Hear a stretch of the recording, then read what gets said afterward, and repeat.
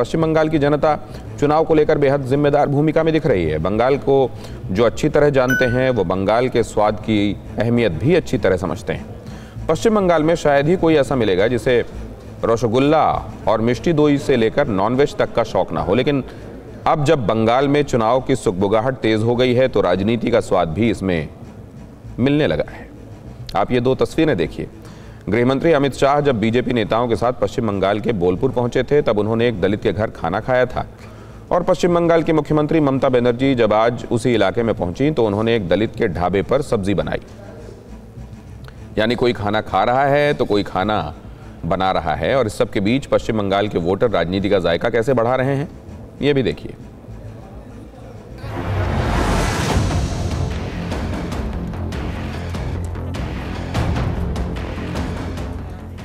पश्चिम बंगाल में 10 साल से अपनी तृणमूल कांग्रेस की सरकार चला रही ममता बनर्जी जानती हैं कि कड़ाही में पलटा जितना ही घूमेगा, सब्ज़ी की स्वाद बढ़े न बढ़े, चुनावी जायका खूब चढ़ेगा।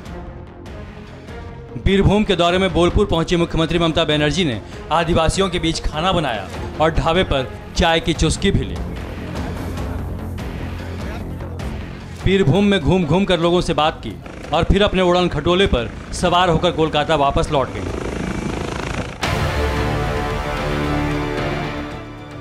लेकिन मीडिया का कैमरा जब आदिवासी गांवों की ओर घूमा तो बदहाली चारों तरफ पसरी नजर आई और लोगों की जुबान पर भूख प्यास की कहानी हमेशा तालाब ही हम यूज़ करते हैं तो हमने तालाब में पानी रहे नहीं, पानी नहीं रहता तो हमने कहा यहाँ अगर कोई समरसल हो जाए और यहाँ कल तक मैंने ये, ये जो कल है वहाँ पास थोड़ा टॉयलेट की लिए हो जाए আমাদের গ্রামে বাথরুমও নেই পুকুর আছে পা- পুকুরটা খুব নোংরা জল পাক- ইয়ে পুকুরে জল থাকে না কিছুই না জলটা মরে যায় তখন আমরা বালতিনে করে জলটা বাড়িতে নিয়ে যাই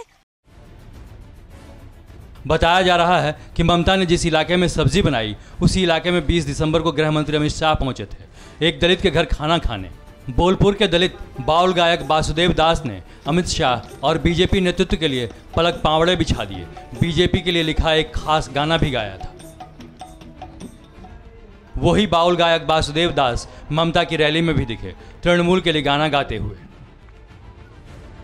অমিত শাহকে খাওয়া খাইয়েছে খাইয়েছিলেন আপনি কিন্তু কি এমন হলো যে অমিত শাহকে খাওয়ানোর পর আজকে মমতা ব্যানার্জি র্যালিতে আপনাকে হাঁটতে হচ্ছে এবার বলি আমরা বাউল আমরা সবারই সঙ্গেই আছি দিদি আমাদের ভালোবাসেন আমরা দিদিকে খুব ভালোবাসি সেদিনে তার সময় ছিল না তার বোলপুরে মিটিং ছিল খুব তাড়া ছিল ওনার তাই আমি আমার মনের কথা বলতে পারিনি यानी खाने से खाना तक और गाने से गाना तक पश्चिम बंगाल की जनता सूबे के सियासी जायके का मज़ा लेने लगी है और उन्हें कौन सा जायका पसंद आया, ये चार महीने में पश्चिम बंगाल के चुनाव के नतीजों में ही पता चलेगा।